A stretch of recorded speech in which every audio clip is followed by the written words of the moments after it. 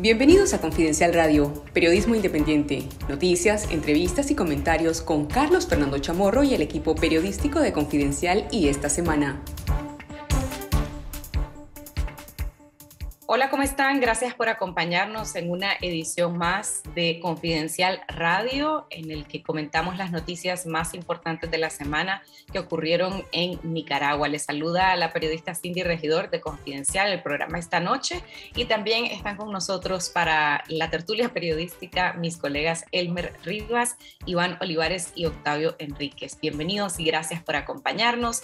Hoy tenemos una importante noticia que compartirles, eh, un hito que consideramos digno de celebrar en medio de las adversas condiciones para ejercer periodismo en Nicaragua. Y es que esta semana llegamos a nuestro podcast número 300, el podcast noticioso de Confidencial, que se llama Confidencial Radio. Eh, todos los días les ofrece en unos cinco minutos cuáles son las noticias más relevantes del día para que se mantengan informados en un formato de audio que colgamos a través de Spotify y a través de las diferentes plataformas que tenemos en redes sociales, en YouTube, en Facebook, también se las compartimos a través de nuestro canal en Telegram.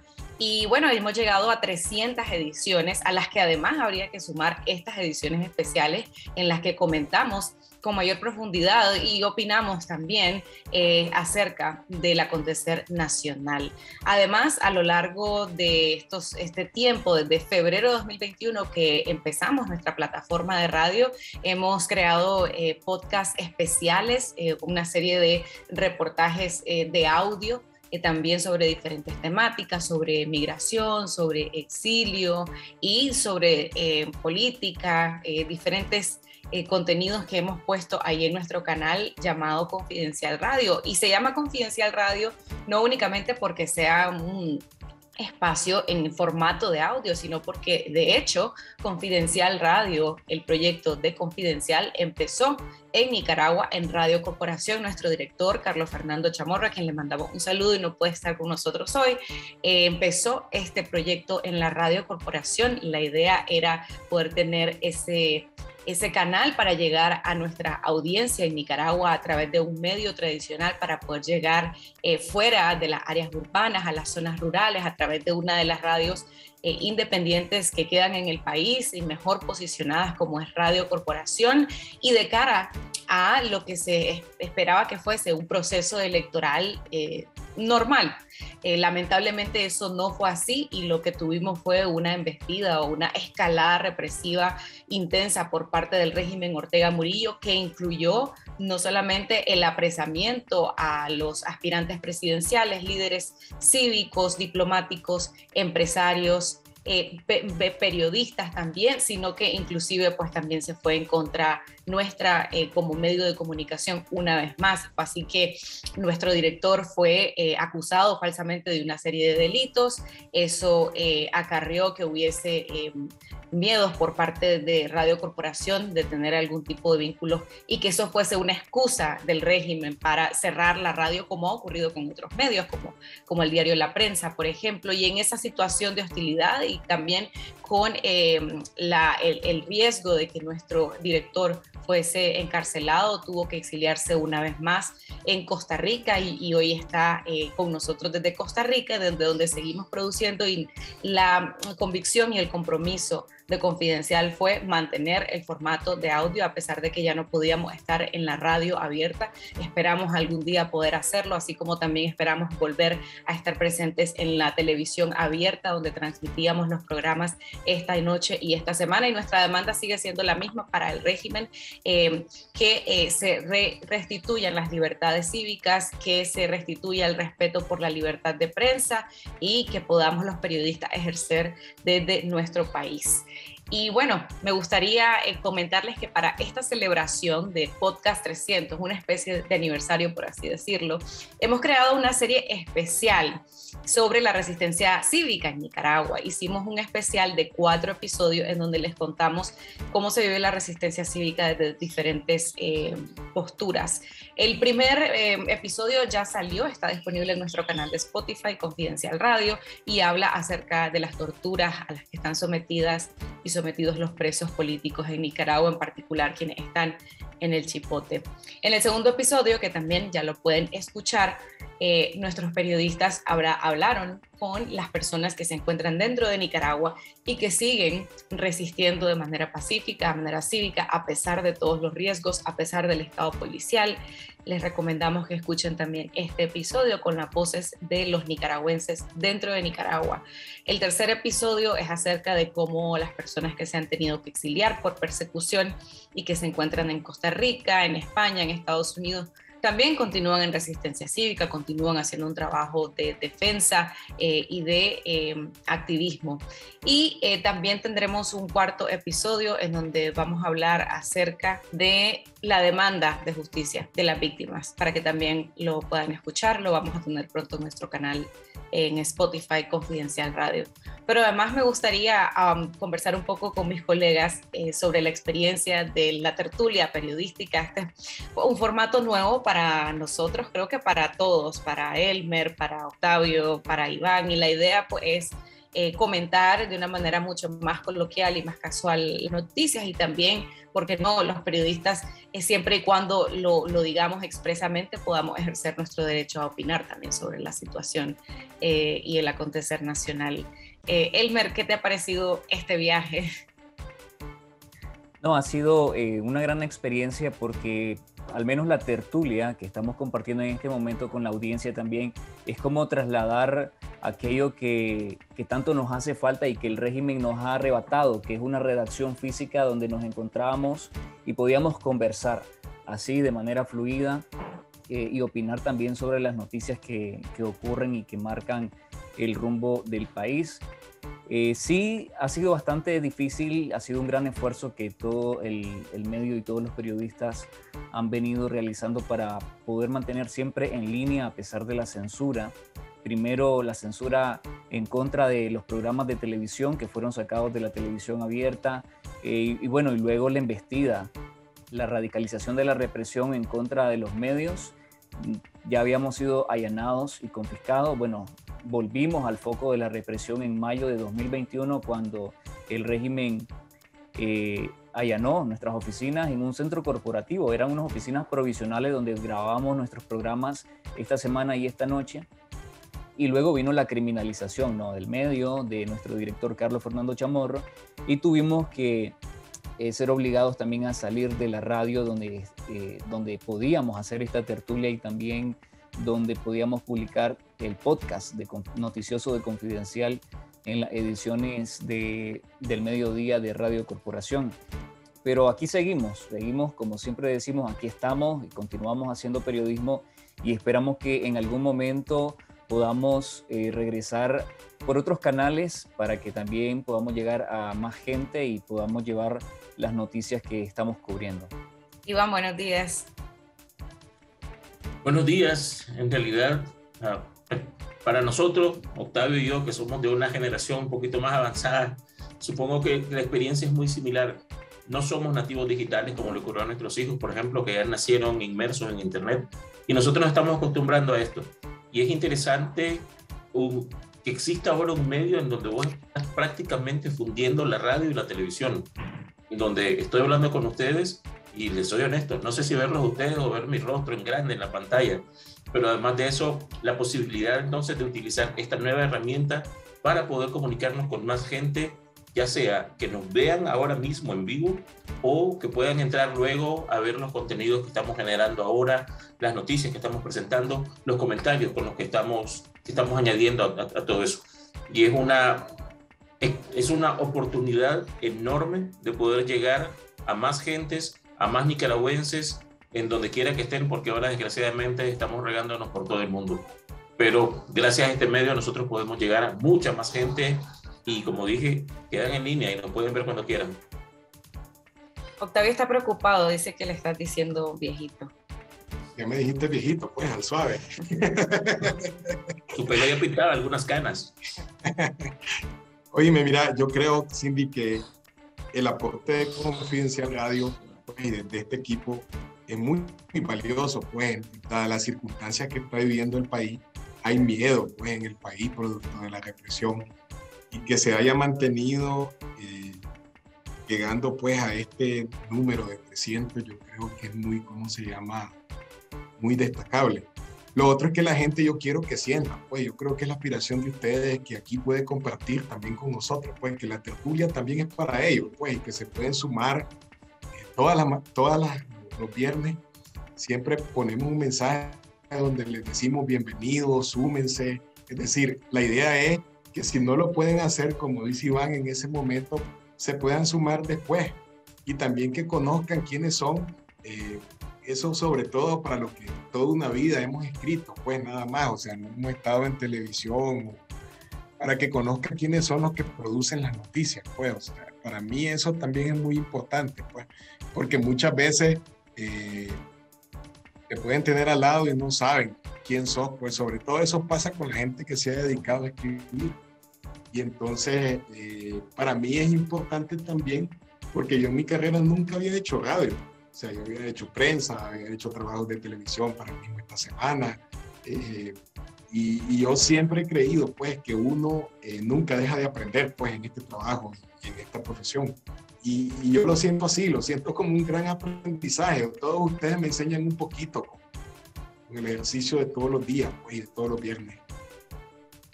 Gracias, Octavio. Quiero mencionar algo, Cindy, y es que el jueves 20 de mayo que nos, que nos allanan, en el momento que están eh, allanando las oficinas en el Centro Corporativo de Invercasa, nosotros teníamos programa ese día. Los programas antes eran los jueves, luego pasaron ahora que estamos solamente por formato digital los viernes. Y en ese momento fue muy importante este espacio y también eh, la tertulia para poder denunciar lo que estaba pasando en vivo en ese momento. Luego de que nos damos cuenta de que las oficinas estaban siendo ocupadas, nos fuimos a Radio Corporación eh, sin medir los riesgos a denunciar, a denunciar y en ese momento a pedir también la liberación de, de Lionel, que en paz descanse, que era el camarógrafo de esta semana, de esta noche de Confidencial, que estaba en ese momento retenido, que fue retenido durante siete horas en las celdas del El Chipote. Y bueno, y este espacio siempre está acá para poder hablar sobre las noticias, para poder denunciar lo que está pasando.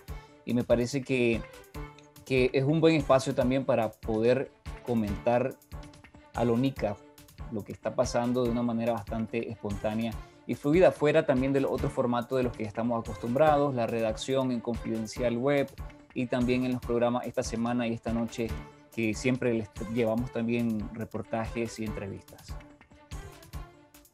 Pues una anécdota bastante, bastante fuerte, Elmer. La verdad eh, que refleja muy bien el, el estado bajo el cual ejercen periodismo en Nicaragua los colegas y bueno, también desde el exterior eh, no es fácil, hay una serie de retos también. Y es una gran parte de, del gremio periodístico nicaragüense que se ha visto obligado a exiliarse porque no ha tenido más opciones por el temor de terminar eh, encarcelado eh, o vivir bajo constante asedio policial o de simpatizantes del régimen. Y bueno, nosotros queremos pues celebrar con nuestra audiencia que seguimos aquí con ustedes, como ya lo ha dicho Elmer.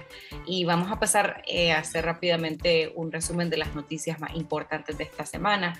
La noticia que está em, tanto a nivel nacional como también a nivel internacional es eh, lo que sucedió con la sede de la OEA, de la Organización de Estados Americanos, en Nicaragua, cuando el régimen de Daniel Ortega decidió este domingo eh, pues ocupar esas instalaciones. Y la noticia que tenemos hoy desplegada en nuestro sitio como principal es acerca de lo que ocurrió el día de ayer cuando el personal administrativo eh, desalojó eh, la oficina que alquilaban, era una oficina que alquilaban en Managua, un, un edificio que no le pertenecía a la, a la, Organización de Estados Americanos. Esto luego de que el régimen le diera un ultimátum para sacar las cosas del edificio que había sido allanado desde días anteriores y posteriormente declarado de utilidad pública. Eh, hay que recordar que lo que sucedió fue que el Ministerio de Relaciones Exteriores le comunicó a la Secretaría que había decidido cancelar y cerrar las oficinas del organismo y lo hizo mediante la fuerza. Esto obviamente provocó eh, una reacción muy fuerte por parte del secretario general de la OEA, Luis Almagro. Eh, hubo una sesión en el Consejo Permanente el día miércoles. Estuvimos en esta noche comentando sobre las distintas declaraciones y reacciones de los países miembros de la OEA, pero vamos a hablarlo más adelante con nuestro colega. Eh, Octavio Enríquez, que ha, eh, dado seguimiento a esta noticia. Otra de las noticias relevantes en esta semana es em, que en, el caso de los presos políticos, eh, y fue el juicio recientemente de don Edgar Parrales, el doctor Parrales. La justicia del régimen orteguista lo declaró culpable al exdiplomático y reo de conciencia en una audiencia que se llevó a cabo en la Dirección de Auxilio Judicial El Chipote, una acción que también es em, una medida que eh, no va de acuerdo a las leyes, no se pueden hacer estos procedimientos eh, dentro de una cárcel.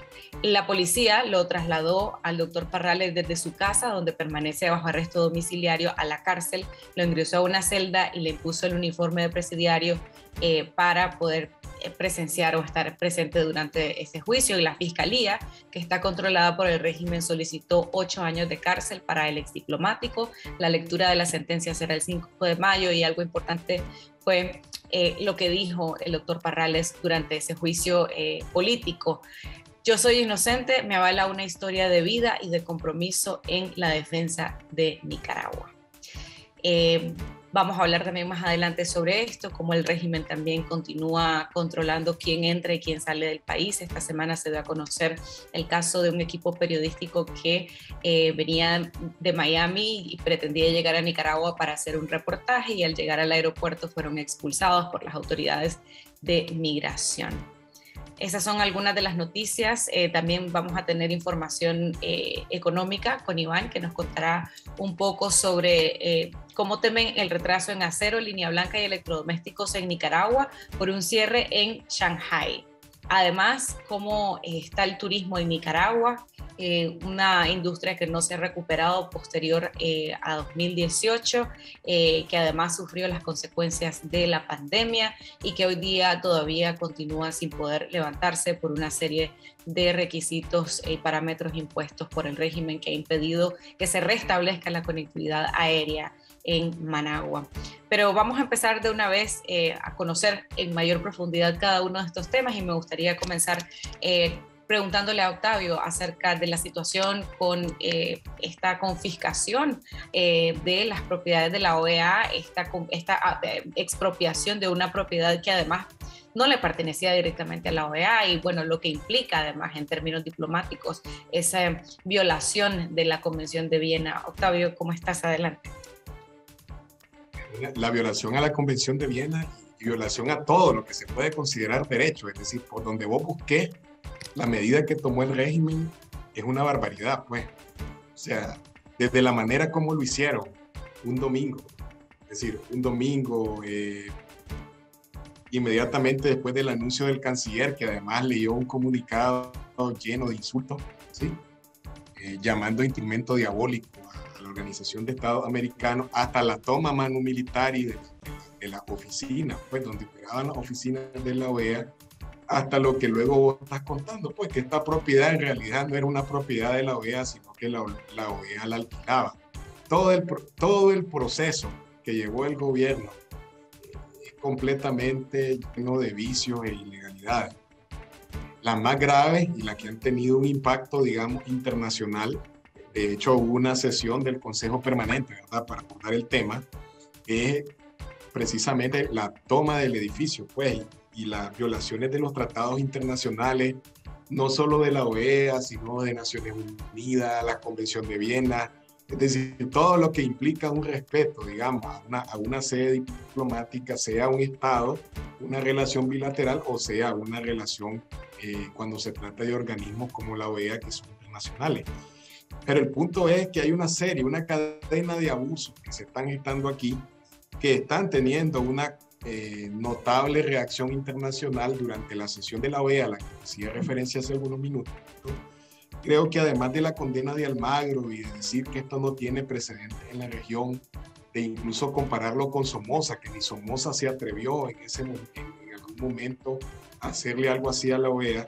Creo que las declaraciones que a mí me quedaron así sonando fueron las del representante de Antigua y Barbuda, que hay una parte donde dijo que él consideraba que lo que había ocurrido era un ataque a todos los países miembros.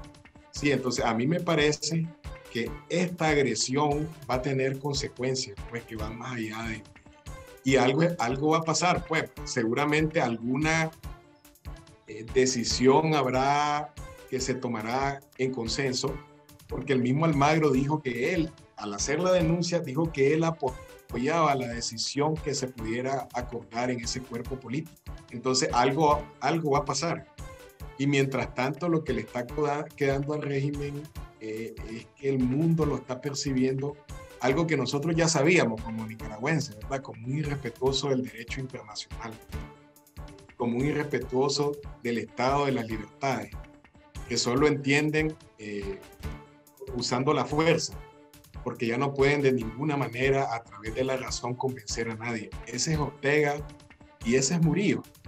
Recordemos que quien después que se da la, la, confiscación y la toma de la fuerza, eh, hay un comunicado de la PGR, pero la que da la cara es Murillo. O sea, y Murillo habla de que van a hacer un museo, ya le llaman un museo de la infamia. Eh, has visto la reacción de toda la gente, pues cuestionándolo. Necesita tener una cara bien dura. Para hablar de infamia cuando ellos son los protagonistas de la infamia contra Nicaragua. Pero lo interesante es que ese capricho de la pareja presidencial, luego los abogados del Estado, cuando emiten un comunicado, tienen que darle forma legal, pues apurado, ¿verdad? ¿Cómo hago yo para que esto tenga una forma, una forma legal más o menos? Y la verdad es que no encontraron la fórmula y lo que uno lee en el acuerdo administrativo de la Procuraduría está lleno de una dosis de cinismo, o sea, la constitución prohíbe las confiscaciones, por un lado. Ellos dicen que este museo lo están haciendo e invocan el artículo de la constitución donde señalan que los nicaragüenses tienen derecho a la educación y la cultura.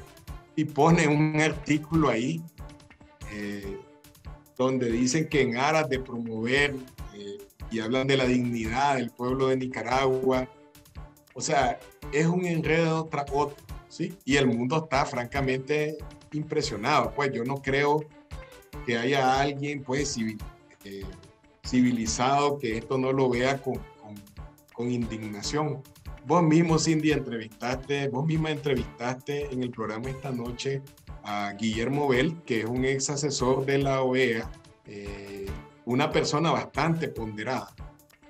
Y durante la entrevista incluso él mismo, comparando las situaciones históricas que han ocurrido en la OEA, dijo que ni Cuba en 1962, ni Venezuela, o sea, habían hecho lo que hizo Ortega. Y dijo que esto no podía o no debía ser pasado por alto.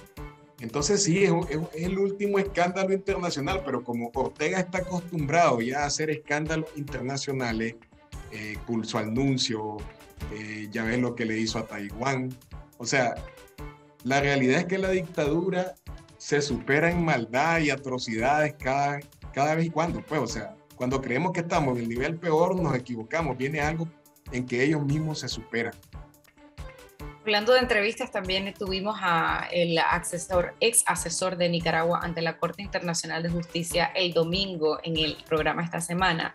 Eh, y él decía, Nicaragua, bueno, Ortega ha adoptado una actitud de bandolero internacional y un poco sobre esta, este doble estándar, ¿no? De un Ortega que la semana pasada celebraba y acataba el fallo de la Corte Internacional de Justicia que favorece a Nicaragua en el tema de la delimitación este, y uso de su soberanía en aguas eh, del Caribe, eh, en un asunto con Colombia pero luego descarta, desecha y respeta otros principios, otros fallos eh, del derecho internacional, como el de la Corte Interamericana, que le mandó a liberar a los presos políticos o viola abiertamente pues, estos principios eh, diplomáticos, ¿no? de cómo deben ser las relaciones y la importancia de mantener el respeto en esas relaciones que se tienen con otros países o con organismos multilaterales como la Organización de Estados Americanos. Otra pregunta, ¿esta propiedad, como decimos, no pertenece a la OEA y se sabe que pertenece a, alguien más. ¿Se conoce quién es el, dueño de esa propiedad en donde la OEA funcionaba, Octavio? Sí, son dos. Eh, tengo la cámara apagada por, un problema de la conexión. Mil disculpas, pero sí se, espero que se oiga lo que... Eh, son dos hermanas de apellido Navarrete. ¿sí? Hay una que está, ¿cómo se llama?, casada con un estadounidense y otra que está casada con un periodista cubano oficialista, ¿sí? Lo que hace que las cosas sean más todavía complejas.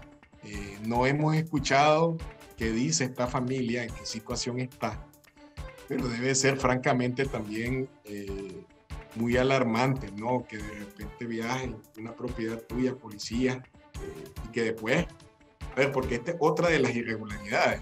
Es decir, para que se pueda digamos, debería haber un proceso, ¿sí? Pero la consumación es a la fuerza, es decir, primero metes a la guardia, ¿sí?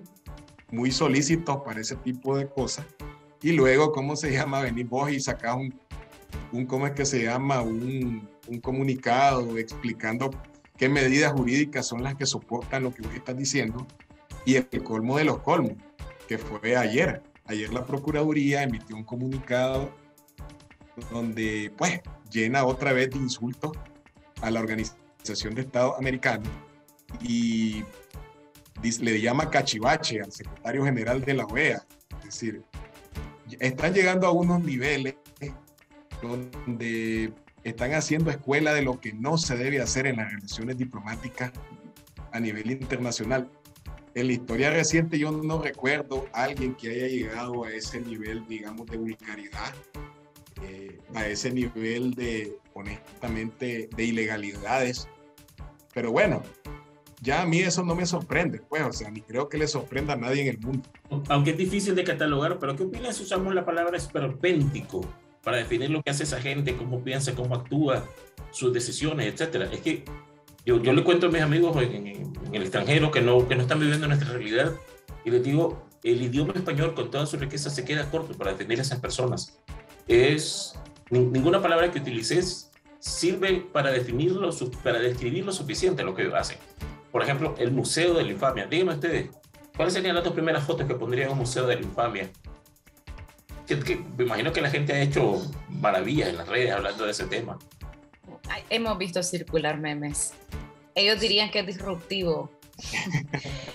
eh, pero además, o sea, lo, que yo creo que uno siempre se pregunta, eh, la, la, población en general, es además cuál es la intención detrás, cuál es la intencionalidad detrás de el empeoramiento del aislamiento internacional. Ya habían decidido abandonar la OEA, ya lo habían hecho eh, público. Eh, luego sucedió lo de Arturo Macfields, que denunció lo que estaba ocurriendo ante el Consejo Permanente en un, en un acto en vivo. Eh, designaron a otro embajador mientras corrían los últimos dos años que la OEA pide al país que se va a salir para terminar de cumplir obligaciones, etcétera. Eh, y luego de repente salen con que no, la verdad es que nos queremos salir y nos queremos salir de la peor forma posible y ya, y además atropellando una serie de, tratados, acuerdos y principios. Realmente eh, creo que es la pregunta más difícil de responder, ¿verdad? ¿Cuál es la, la intención o la, la pretensión que hay detrás de un acto tan, tan irrespetuoso y tan violento como este. Quizás tenga que ver con el hecho de que ya nadie está votando al lado de ellos, ni sus socios de Venezuela, ni sus cómplices de Centroamérica, perdón, Venezuela, no de Bolivia, ni sus cómplices de Centroamérica. Ya, ya nadie, pues lo más que obtienen son abstenciones, pero ya nadie está votando, era un solo voto y era, bueno, el, el del que, el que le tocara esa semana representarlos a ellos en la OEA, porque los cambiaban cada 7 a 10 días. Eso también se merece una nota de una investigación para hacer ahí un ensayo, un paper, porque es ridículo, es una inconsistencia increíble. Es bastante difícil también predecir por qué, qué va a pasar y especular sobre la irracionalidad, pues, porque, o sea, no, no hay otra manera de, de, saber por qué lo hacen y para qué lo hacen. Lo lamentable de todo esto es que, bueno, el debate de Nicaragua en la OEA ya lleva eh, más de tres años, casi cuatro años, y, bueno, no, no se han visto mecanismos efectivos dentro del organismo regional que puedan o, hayan podido propiciar una salida a la crisis. Ahora, la embestida que le da el régimen de esta manera al mismo organismo, se burla frente a ello. Eh, o sea, la pregunta es, ¿el mismo organismo tiene mecanismos, instrumentos para no dejarse burlar también de esa manera? Porque lo que está haciendo el régimen es precisamente eso, burlarse y decirle lo hago y, no hay consecuencias. Entonces la pregunta es, ¿van a haber consecuencias y qué puede hacer la OEA? Si puede llevarlo a otras instancias por el flagrante eh, violación al, la flagrante violación al derecho internacional, se puede llevar a instancias de la ONU, qué puede pasar y qué va a hacer la, la OEA. Eh, algo bastante eh, interesante también que mencionaba el ex asesor de la OEA en tu entrevista, Guillermo Bell, es que probablemente Ortega también quiera aislarse aún más y sumarse a otros bloques de países que no están en esta región y tiene que ver con sus relaciones con Rusia. Y probablemente el régimen también está apostando a hacer todas estas violaciones, todos estos tipos de exabruptos, incluso eh, romper completamente con, con, las relaciones de los países, Estados miembros de la OEA. Eh, porque todo el mundo está viendo hacia Ucrania, ¿no? ¿Y qué está haciendo Vladimir Putin y qué pretende hacer Vladimir Putin? La Unión Europea eh, tiene sus problemas con esa crisis allá, Estados Unidos también está viendo hacia allá. Eh, y bueno, los países latinoamericanos cada uno tiene sus propios problemas y sus propias crisis, así que está bastante difícil eh, saber qué puede hacer la OEA también para poder no revertir esto, pero sí de que esto no quede en la impunidad y que tenga algún tipo de costo también para la dictadura. Mira, pero eh, estamos de acuerdo todos, creo yo, con esa irracionalidad como política de Estado, ¿no? De parte de Ortega, pues, porque en realidad esa irracionalidad él la, la ha eh, hecho una política eh, en todas las esferas que vive el país, no solo, no solo en lo, en Pero fíjate que si en algo ha sido racional, ha sido, ¿cómo es que se llama? Congruente Ortega en su postura de abuso eh, implacable con los derechos humanos, con el respeto a todo lo, que es legal. Y eh, ahorita que estabas mencionando a, a, Putin, a mí la primera imagen que se me vino, bueno, pues que Ortega es una copia de Putin. Pues, o sea, todo el mundo vuelve a ver a Fidel Castro, pero yo creo que a quien más, a quien más Ortega, por lo menos de los líderes o los autócratas recientes que buscan cómo parecerse, es a Putin. Vos te acordás, por ejemplo, que cuando eh, eh, una vocera del Kremlin que dijo que lo, que estaba ocurriendo en, Ucrania, ¿verdad? Eran eh, también escenografías, montajes, o sea, al ratito vos tenías el mismo día, si no me equivoco, Rosario Murillo diciendo lo mismo. Y mientras Ortega hace esta vulgaridad con la OEA, o sea, apenas ayer andaba el secretario de Naciones Unidas allá y, Rusia estaba bombardeando Kiev. Es decir, vos tenés a dos matones, ¿verdad?, que están intentando en el barrio, ya con violencia, eh, de hacer lo que quieren sin un absoluto respeto por el derecho internacional. Y yo creo que ellos con sus propias, ¿cómo se llama? Con sus propios actos lo están demostrando, pues. Y del otro lado, o sea, de, quienes ven estos atropellos, eh, pues hay, hay, reacciones, como dice Elmer, pues habría que ver cuáles son las acciones que la OEA en su conjunto va a tomar, pero los países miembros están... Creo que perdimos a Cindy. Bueno, ya mencionaba sobre los países miembros, probablemente qué pueden hacer, y estamos hablando del vecindario nicaragüense, ¿no? ¿Qué pueden hacer? Eh, el mismo asesor de la OEA, Guillermo Bell, decía en la entrevista con Cindy de que probablemente vayan a tomar medidas bilaterales. Bilaterales. ¿Qué tipo de medidas? No sé. No van a retirar sus embajadas ni, sus misiones diplomáticas porque no es algo a lo que apuesten. eh, los diferentes países, aunque estén en medio de un conflicto o por las razones que sean, etcétera. Pero no sé ustedes qué piensan y qué puede hacer también los países centroamericanos y en este caso también la postura de México, ¿no? Argentina, ¿qué puede hacer? Es, difícil, en realidad no parece haber tantas herramientas diplomáticas que puedan ser de alguna forma útiles o eficientes. Sí me llamó la atención una vez más de México, esperaba que esta vez pues fuera, fuera claro, ¿verdad? hay un ataque directo, hay un ataque que no se puede negar, pero lo que hizo fue justificar que como nosotros en la, embajada en Bolivia y no sé qué. Es una actitud casi de cuando éramos adolescentes y utilizábamos esos argumentos. Fue decepcionante que México actuara. mismo Iván. Sí, entonces eso, no sé de, qué, qué alternativas, qué opciones tenga en realidad la OEA o la comunidad internacional para obligar a esta gente a empezar a actuar de forma decente. No veo cómo hablaba de, las posturas de los países, de otros países miembros, como el caso de Estados Unidos. Vimos eh, recientemente unas declaraciones que el subsecretario eh, de Asuntos del Hemisferio Occidental del Departamento de Estado estadounidense, Ricardo Zúñiga, ofreció al canal Telemundo 51 de Miami, Florida, y él decía, hemos visto que la situación ha empeorado eh, y mencionó en varias ocasiones que estaban viendo pues cómo utilizar todas las herramientas que estaban a su alcance, entre ellas la ley Renacer, y habla también del tema de presión económica. La entrevista se dio casualmente unos días antes de que se diera a conocer la noticia de la cuota azucarera extra que no se le asignó a Nicaragua en esta ocasión. Entonces, pues yo creo que indiscutiblemente países como Estados Unidos, que tienen eh, estas políticas definidas, que hay una ley eh, que está eh, dirigida específicamente para presionar para que pueda haber un cambio hacia la democracia en Nicaragua, podrían estar evaluando entonces eh, qué otras acciones tomar que todavía no, no, habían hecho en el pasado. Y él mencionaba, por lo menos un par de ocasiones en esa entrevista, el, el tema eh, y el término de, de, presionar a través de lo económico también. Entonces, habría que ver también cuáles serían las reacciones en ese sentido y por parte de ese, ese país que también es miembro de la, de la Organización de Estados Americanos. Eh, vamos a hablar precisamente ahora de temas económicos. Iván, me gustaría que nos comentaras un poco más sobre cuáles van a ser las consecuencias para Nicaragua del cierre del puerto en Shanghai. Ok, quisiera ofrecerles un antecedente. Eh, dos antecedentes. El primero es la crisis logística global que fue causada por el cierre de todas las fronteras a partir del inicio de la pandemia en el, primer trimestre de 2020. Los países se cerraron, el comercio marítimo, bueno, el comercio, el transporte mundial se detuvo y lo que sucedió fue que los barcos que ya venían de Asia a América y a Europa cargados de mercadería tuvieron que quedarse acá. Y luego eh, los contenedores se quedaron en América y Europa. De modo que cuando el comercio empezó a reactivarse lentamente, no había contenedores para transportar la mercadería hacia nuestro continente. Ese fue un primer problema.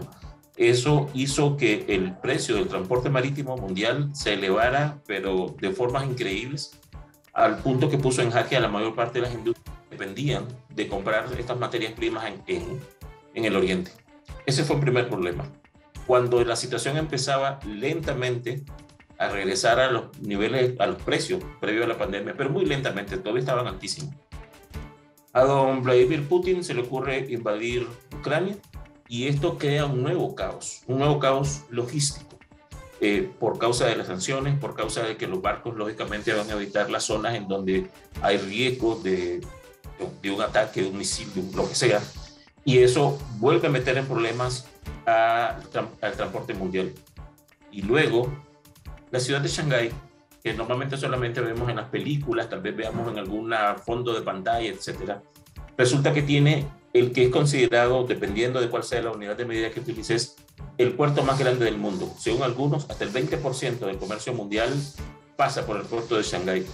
Resulta que después de pasar mucho tiempo sin que se reportaran muchos casos de COVID en China, en Shanghái eh, surgió un nuevo brote de contagios de COVID y el gobierno chino decidió aplicar una política que denominaron cero COVID y 5 millones de habitantes, a los que incluso no les están dando permiso de ir a las pulperías, de ir a los supermercados, de ir a abastecerse de, alimentos y están utilizando, supongo que son militares, no, no, no lo sé con certeza, para que le lleven la comida a la gente de modo que la gente ni siquiera salga de su casa.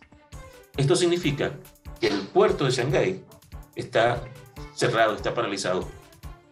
uno puede, uno puede ver las aplicaciones en línea la inmensa cantidad de barcos que están simplemente anclados frente al puerto esperando una señal para llegar a cargar o descargar.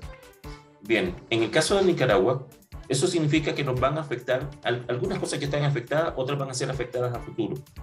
En particular, eh, los fertilizantes, eh, los agroquímicos como insecticidas, herbicidas, parasiticidas, etcétera, que vienen o pasan por ahí. Eh, en un corto momento, y ahorita tengo una información disponible, pero no puedo escuchar los audios para compartirlo con ustedes. El precio de los fertilizantes, que ya venían en, en alza desde 2019 por causa de la reforma tributaria, y luego por todas estas cosas que he dicho, se van a poner más caros algunas cosas que son simplemente de consumo, pero que en algunos casos sí en realidad son necesarias. Cosas como cocina, televisores, lo que es línea blanca, también se va a encarecer. Y aunque en este momento no hay afectaciones, también en algún, eh, para futuros embarques puede haber problemas para el transporte de vehículos nuevos al país. Es probable que alguna de la materia prima que nosotros exportamos y que vaya por esos puertos se vea afectada también, pero eso todavía no está ocurriendo. Así es que las industrias del comercio que depende de la materia prima importada que viene de Asia está en problemas por estas razones que les estoy comentando ahora. Pueden leer la nota completa de nuestro colega Iván Olivares en confidencial.com.ni. Iván, también has publicado, eh, o publicarás más bien, próximamente información acerca de cómo, cuál es la situación del turismo. Tenemos las declaraciones oficiales del gobierno, pues que pinta un panorama bastante positivo de recuperación de la actividad turística en el país. Eh, ¿Qué es lo que te dicen tus fuentes al respecto? Sobre todo pasada la Semana Santa, que es una de las temporadas más altas del año. Sí. Según los datos del Banco Central, el índice mensual de actividad económica del mes de febrero marca un crecimiento de 20.5% cuando comparas febrero 2022 contra febrero 2021 son datos que en todo caso no se corresponden con lo que están viendo los empresarios del sector turístico en términos de ocupación de habitaciones, en términos de consumo en restaurantes, de contratación de, de, tours por alguna parte del país, etc. Eso no, eso no se ve, sin embargo es el dato que está ofreciendo el Banco Central y dado que no hay forma de, no hay una forma científica de eh, de revertirlo, pues vamos a aceptar ese 20.5% que dice el Banco Central. Pero, por ejemplo, nosotros hablamos con dos empresarios. Uno de ellos es un empresario del, tema de la hotelería, tiene su negocio en el norte del país y nos comenta que sí, que en el cierre, o sea, el sábado y domingo de Semana Santa, tuvo ocupación plena de su negocio, pero que el resto del tiempo era solamente algo parcial y que además de eso eh, se ayudaban también pues, con la venta de alimentos, de souvenirs y además de eso, de algunos tours que sigan en los alrededores del hotel. No me quedó claro si lo que tienen es algo, un tour cafetalero o algo similar. Pero de todos modos, es una excepción. No es lo suficiente como para poder mantener un negocio y pagar todos tus costos. Tus costos de mano de obra, de la carísima electricidad que consumimos en Nicaragua, de los impuestos que pagan las, las empresas, etc. Es muy bajo. Incluso los datos que, que da la señora Campbell, la codirectora del Instituto Nicaragüense de Turismo, habla de 50% de ocupación. Eso en cualquier parte del mundo es una miseria.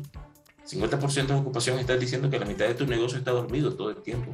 Es como que nosotros en nuestra sala de redacción, la mitad de los, de los periodistas no escribieran ni una letra en todo el día de hoy o en, o en toda una semana. Eso es un fracaso, es la admisión de un fracaso.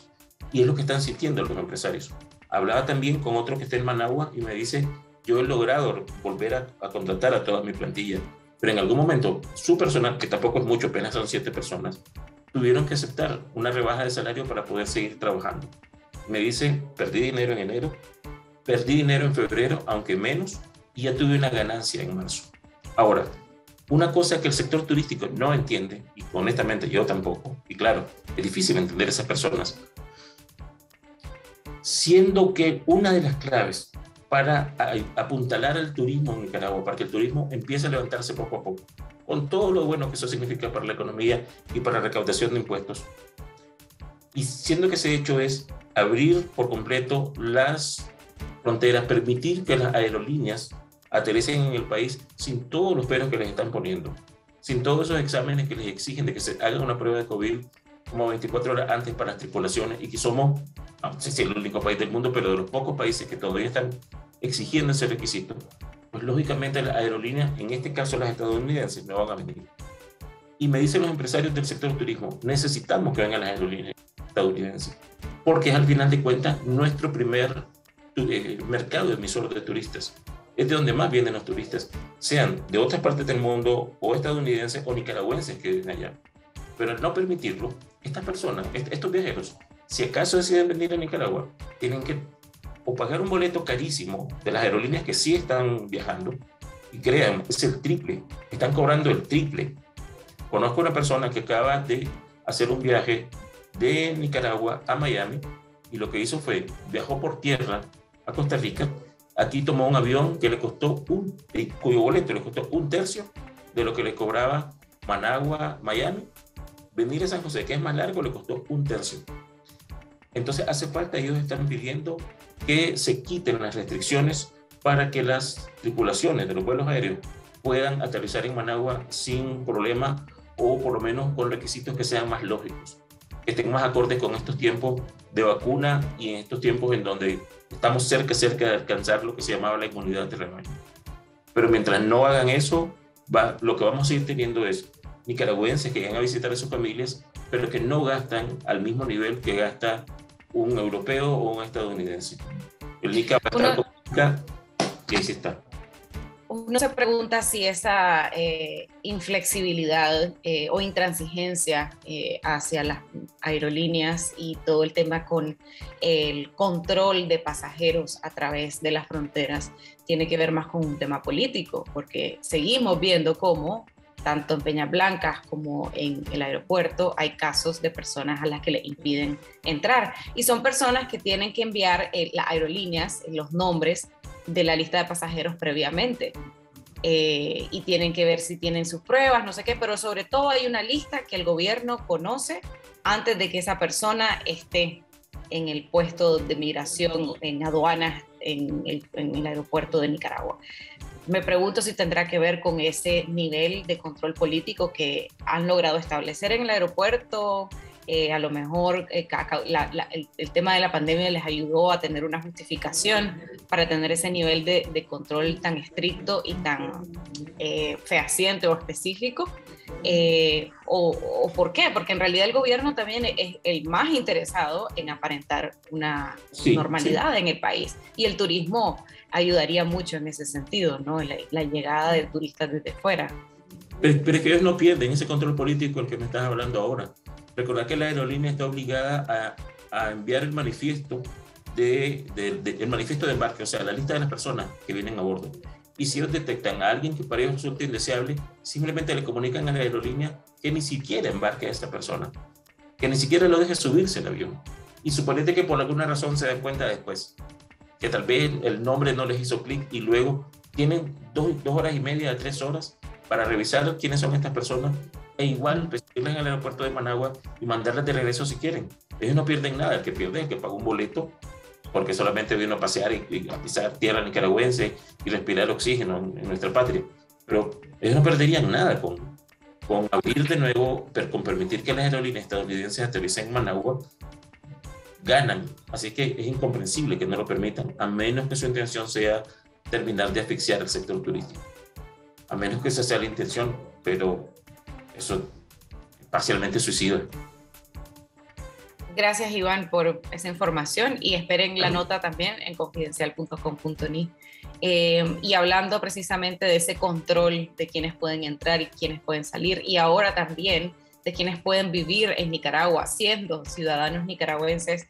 Elmer, eh, publicamos recientemente en Confidencial una nota, eh, un poco más de análisis sobre lo que pasó con eh, los músicos nicaragüenses, productores musicales que fueron detenidos por la policía, que estuvieron en las celdas del Chipote por 10 días, si no me equivoco, y que en varios casos expulsaron, siendo extranjeros deportados simplemente por eh, ser vistos como críticos del régimen y en otros casos desterrados a pesar de ser nicaragüenses. Sí, mira, ya había antes un precedente que en este contexto de la crisis de Nicaragua, que fue el caso de Ana Quiroz, que tenía 40 años viviendo en Nicaragua pero ella tenía doble nacionalidad. En fin, le cancelaron la, nacionalidad nicaragüense bajo ninguna justificación realmente, fue expulsada del país.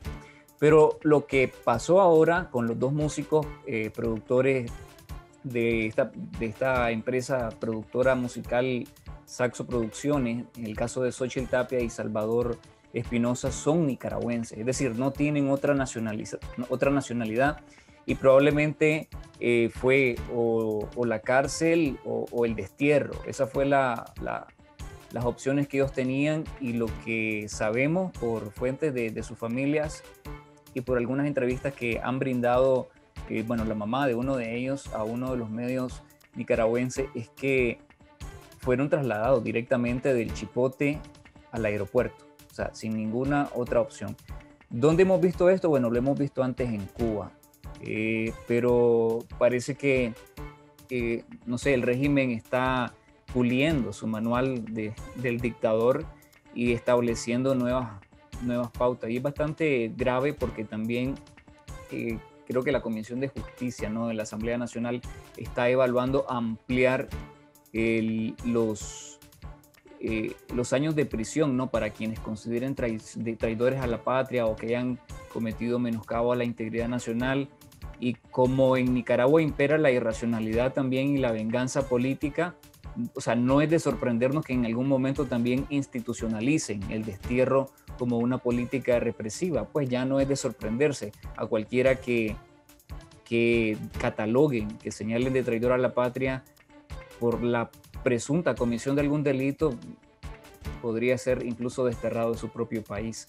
También hay otros casos que ya hemos reportado antes, como fue el caso del papá de Lester Alemán. No, él es nicaragüense y se le impidió entrar a su país, lo, devolvieron, lo regresaron y pasó también recientemente en este contexto del cuarto aniversario de la rebelión de abril, en esta jornada que pasó, que el régimen también impidió el ingreso a su propio país al músico Carlos Luis Mejía Rodríguez, ¿no? que es músico y fundador de, la conocida banda musical La Cuneta Son Machine.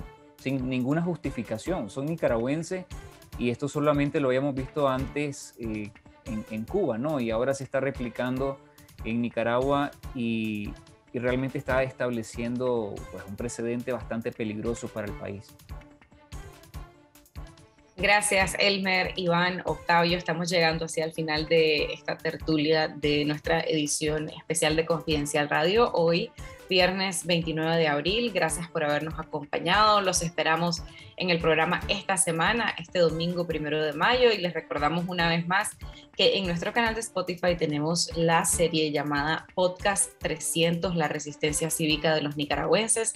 Son cuatro episodios especiales que hemos publicado durante esta semana y se las recomendamos a todos. Iván, esperamos que puedas tener este fin de semana el tiempo para poder ver, escuchar, perdón, esas, esos cuatro especiales que hemos producido acerca de la resistencia cívica, la demanda de justicia, la tortura de los presos políticos en las cárceles en Nicaragua, la resistencia dentro y fuera del país. Gracias de nuevo por haberme acompañado, muchachos, y nos vemos el próximo viernes y a ustedes también. Eh, esperemos que nos puedan escuchar en lo que resta de la semana y les tendremos un nuevo episodio el próximo viernes aquí en Confidencial.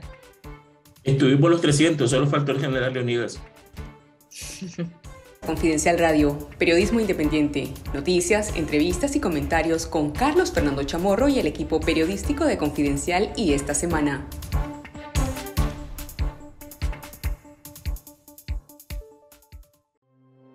Confidencial, 25 años investigando y contando la verdad, la política, la economía y la sociedad. La aspiración de un país con democracia, prosperidad y justicia. La corrupción, la pobreza y la violencia. Los temas que afectan e interesan a todos los nicaragüenses. Revelamos la verdad que otros ocultan. Fiscalizamos el poder. Promovemos el debate público Hacemos periodismo independiente. Por una ciudadanía crítica y mejor informada. Contá con nosotros, estamos cada vez más cerca de vos. Nunca podrán confiscar la verdad. Confidencial, conectados con la verdad.